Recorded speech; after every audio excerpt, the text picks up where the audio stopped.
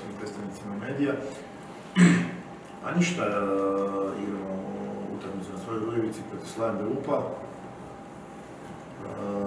koju čiji momčad je moja dala referenčina puno digao u odnosu na formu koju su imali na početku sezone.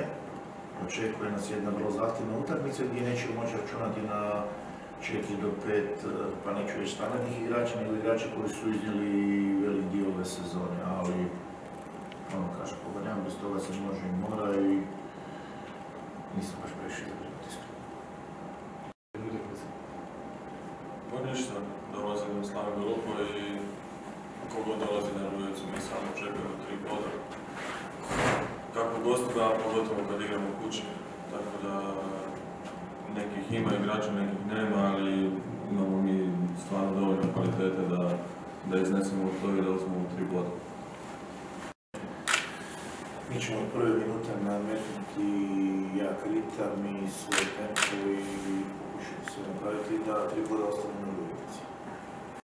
Pa dobro, gledajte, znači svaki igrač treba jedno vrijeme period aklimatizacije na novu sredinu, već je došao, mi se danas smo ga čekali zbog vize i svega i mislim u principu svaki igrač e, daje svoj maksimum u tom da je zadovoljno za današnju liku.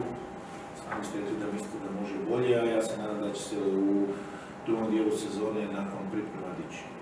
Izvukli tu informaciju, ne znam mislim baš što je izvukli, jednom nekom klubu koji se zvao Zagreb sam igrao 7 godina, pa, ali gledajte, nisam baš bio toliko dobar tada, pa nisam puno igrao za taj Zagreb, ali u dvije godine sam igrao više nego 7 u Slavim Belupu.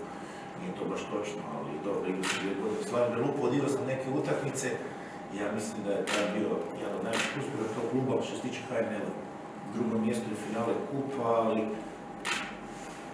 najviše utakmice sam odigrao za NK Zagreb, to što sam igrao u nižem natjecanju, to je stvar jednog drugog čovjeka.